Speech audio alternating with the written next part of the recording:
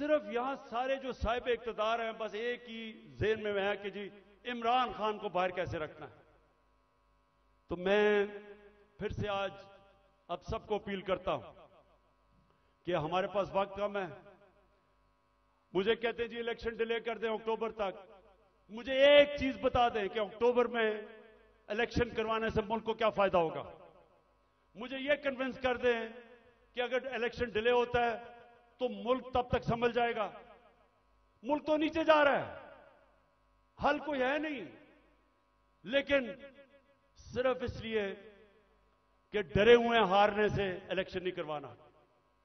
तो मैं अपनी सारी कौम को भी आज कहना चाहता हूँ कि पाकिस्तानियों, आपने याद रखना है कि आपने किसी सूरत जालिम के सामने सर नहीं झुकाना।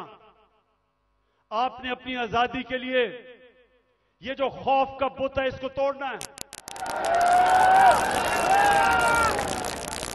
ये जो पकड़ धकड़ तशद करना रेंजर्स ले आए कि जी पुलिस नहीं तो रेंजर्स आ जाए। क्या इससे मुल्क ठीक हो जाएगा?